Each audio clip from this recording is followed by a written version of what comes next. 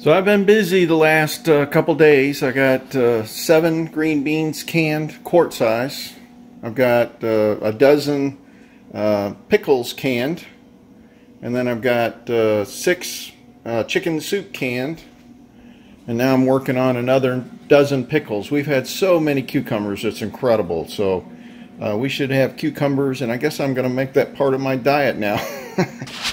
All right, let's keep going. All right, when you're trying to do some homesteading, you got to try to figure out how to uh, make use of what you're getting. And I've just got this tremendous bumper crop of cucumbers, and I thought, well, I'll go ahead and uh, make some pickles. So I took a two-gallon container, and I've been following the recipe. This is about the third time I've done this. It's a uh, Morton has pickling and uh, canning and pickling salt. It has a recipe exactly what to do. And I thought, yeah, I'll go ahead and do two gallons. I didn't even really make a dent in my cucumbers. I can't even believe it. So I'm going to have to do this like three or four times. And we've been giving these things away. But I have, between these and the green beans, it is amazing. And so last night, I actually uh, processed a bunch of green beans. Uh, you know, I de-stringed them like in the previous video, and we ended up with seven quarts, which I was real happy because that's the uh, capacity of my pressure canner. And so this morning I, you know, boiled some water, put some salt into the uh, quart-sized jars, and and then immediately got them in the canner. And it's only 9:21 uh, this morning, and so I've got uh, 21 minutes, and then I'll have nine. I'm sorry, seven uh, quarts of green beans completed and they just got to cool off so I always keep a metal pan that I set them in in case you get a jar breakage. I've never had that happen but better safe than sorry. And then I've also got my uh, pickle soaking cucumbers I should say. But the first step is you're supposed to soak them in uh, salt water this pickling canning salt uh, for uh, probably 12 18 hours. And then uh, you go through the next step where you actually make up the pickling solution and go ahead and put them in the jars and then you do instead of pressure canning you do this uh, I guess you call it boiling canning. You don't put them under pressure. And it's because their pickles will turn to mush Mul mush anyways, I did find a few cucumbers that were a little soft and uh, sometimes they're like too yellow and whatever. And so I just pitch them off the back porch to the chickens and they just have a blast with them. So now I'm sitting down and I'm trying to, uh, you know, go through the news and see what I can find for you. But uh, I just thought I'd like you to, you know, see what we do every day. This is kind of, uh, I'll show you my pretty hairdo in the morning. I haven't got cleaned up yet. I've got a Kiwanis meeting I got to go to today, so I got to get go get a haircut and get some nice clothes on and go meet with the guys. I hope everybody's treating you well. I hope you're doing well. Do the best you can. God bless. Hey everyone, I just wanted to let you know uh, after doing a number of uh, pickle uh, canning, cucumber canning, making pickles, uh, using this recipe, I've now pretty much got it down. And, you know, a lot of what happens when you're doing this, if you don't get all your ingredients out, you're going to screw it up. So I think I finally have the recipe the way I like it, and uh, it's coming out very well. But I wanted to let you know, a lot of times these uh, recipes don't give you the, all the information that you need. So I found if you double this recipe, it will make uh, a case of quart-sized mason jars. So 12 mason jars. And I use the large mouth, but the small mouth would work fine. I just find the large mouth are easier to work with. Um, the other thing was, don't buy these things from the store. If you're going to do a bunch of uh, pickles, these are really expensive. These are about $4 a piece, and you're going to need two of these for each uh, 12 jars that you do. And not only that, you need uh, dill uh, seeds as well, or you got to go get the dill sprigs. So this last time around, I nobody, I went to three different uh, uh, grocery stores, you know, Kroger, Publix, and uh, Ingles, and nobody's even carrying the uh, dill seeds and, that I can find. So I got fresh dill, and that works fine too. Um, the other thing is for your pickling spice. Oh, let me go back forgot to say. So instead of uh, mustard seed and dill seed, you know, from the store like this, I went to Amazon and I got like uh, pound bags for maybe five bucks. So instead of this little bitty thing, three ounces, I got a pound for just a buck or two more. So now I've got, I'm going to be set for a long time. The only thing that, you know, obviously for being sustainable is vinegar. I don't really have any access to that anywhere, but uh, now I'll have everything that I need. The pickling spice is, uh, I ordered a, uh, you're supposed to put these in like a, uh, a little, uh, I forget what that stuff's called. Here, hold on, I got it over here. Cheesecloth. Supposed to put it in a cheesecloth, you know, tied with a string so that it can seep like a tea bag. But I actually ordered uh, from Amazon these, uh, um, they're like little tea balls and then that way I don't have to mess with the cheesecloth every time. I just dump the pickling spice into the little uh, tea balls. They're, they're, if you can imagine like a little stainless steel cup with a lid on it that's got a bunch of holes drilled all around it. It's got a little chain that hooks onto the side of the pot. Um, that works great too. So anyways, the other thing was I kept forgetting to put the sugar in. And I also like to put uh, garlic. So I think two of the three batches had the garlic because I forgot to put that in. But uh, these are actually, everything's loaded in here except for the vinegar and water and uh, pickling salt and then the bag with the cheesecloth in here. So this is coming up to a boil right now. And then I'm just going to pour it over the pickles. And then, oh boy, that vinegar is strong. And then what I'm going to do is uh, do the uh, water canning method where you, uh, or boiling canning I think they call it where you just stick the jars in a pot with some water about halfway up the jars. And uh, and do that for 15 minutes and then you just take them out and let them cool off. And then it can uh, it'll seal up perfectly.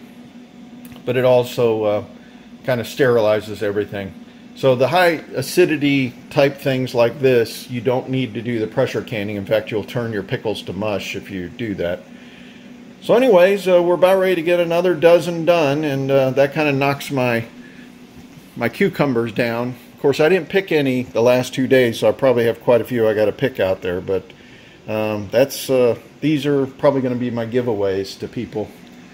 All right, so I wanted to let you know that uh, you know there's a little bit of an art that you got to figure out when you're doing this and get the recipe the way you like it. But uh, man, I got a lot of cucumbers, and this is a great uh, addition to any meal, especially lunches. So make your own cucumbers. Oh, I got to tell you one more thing. I'm so proud of myself. So certain times a year, and I'm not sure why this time of year is that, but they consider uh, mason jars like a seasonal item. And the doggone things went on sale at Kroger. And last year I had bought everything out of Tractor Supply at a certain time of year, and I thought it was later in the year.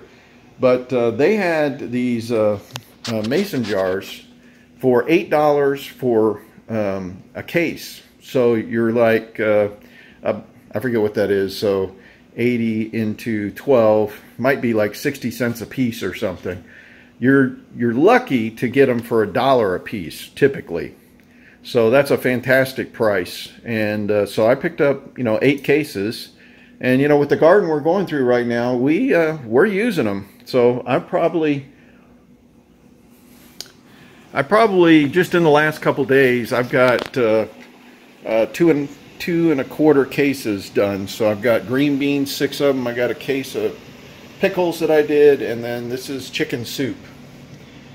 So I'll probably have some more chicken soup done tomorrow, but I am still just canning away.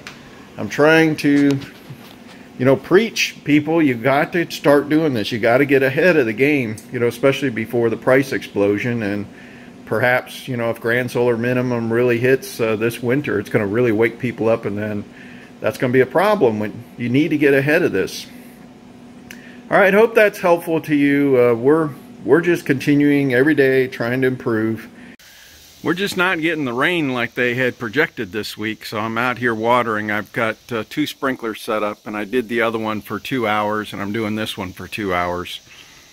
I've got more onions I got to pick there, so I'm about ready to pull them out, but I'm going to yeah, probably wait till they dry out a little bit and uh, trying to give my new tomato plants a good shot here. I'm going to spray the uh, those couple beds that I had problems with the tomatoes with some copper solution that I've got. See if I can uh, knock down this wilt that's happening. But it just may be I'm not watering enough. That's what we're going to find out here. We're going to give this a really nice soaking here. And uh, we'll go from there. I got to do my side yard too. My all my uh, blueberries and all my green beans and okra. I want to show you, these things are starting to take off. I got a couple okra I got to pick on here.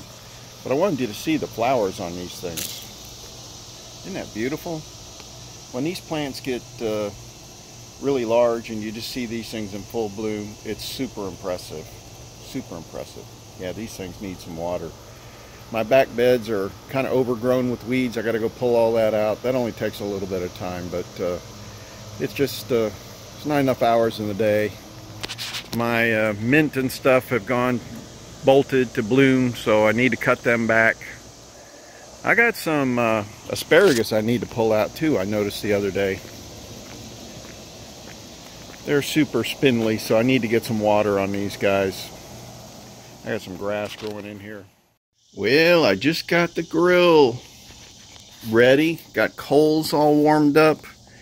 I always just used a little chimney thing with a couple pages of newspaper underneath it. And uh, I don't use any lighter fluid or anything else. And uh, this sucker is ready for something to put on top. What are we cooking?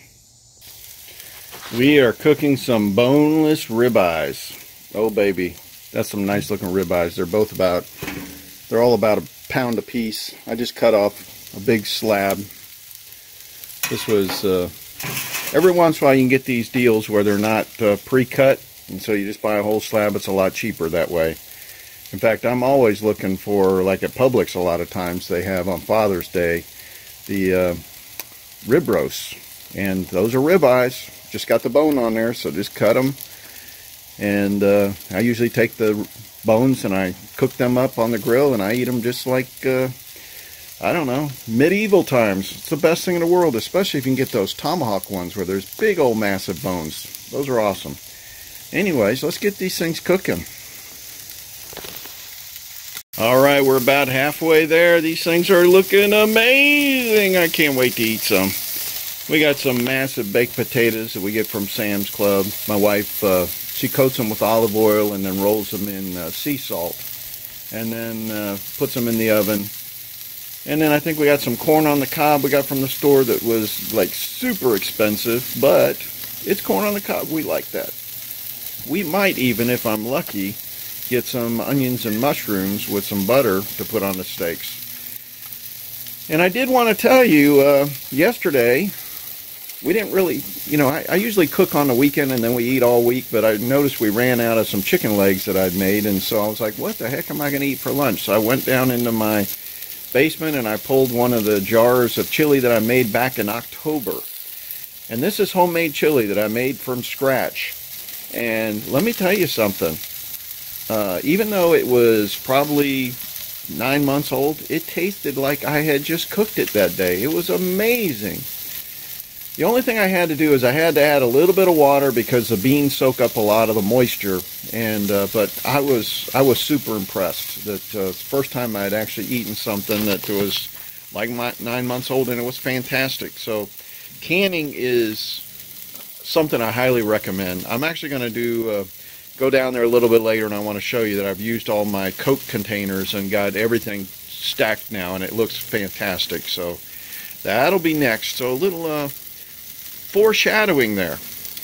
All right, got to finish this up because I am hungry. I haven't eaten lunch yet. It's almost 1 o'clock.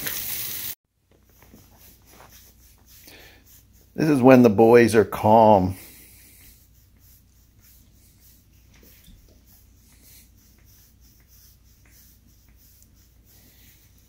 They're very spoiled doggies.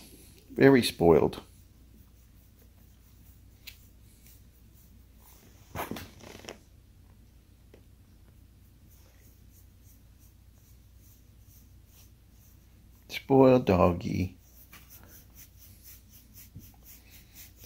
rotten.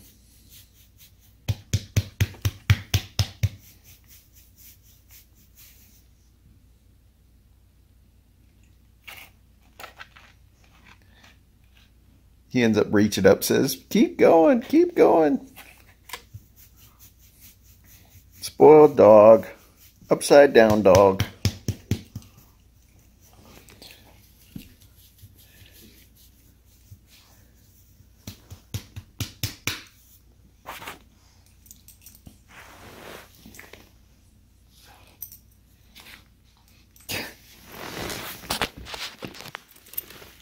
You need your turn too, huh?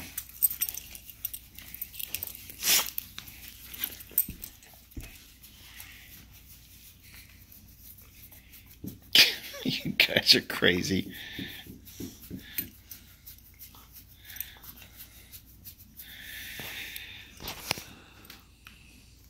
It's funny, sometimes they go from wild, like the other day when I did the video, to actually being somewhat sweet. Uh oh here they go.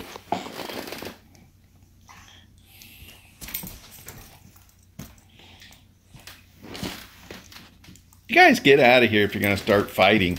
Too close. They're very gentle with each other, though. Every once in a while you'll hear a yip, but it's unintentional. Stop around the neck.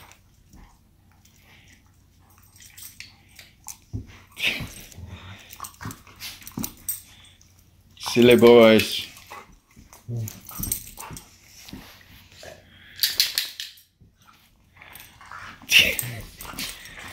Dougie says, come on, let's go. Let's go play. Let's play. Let's play. okay. Are you guys going to be good and quiet now? I got to do some videos. I guess that's a no. Sometimes I have to put Dougie up in his kennel. Dang, come attack me, why don't you?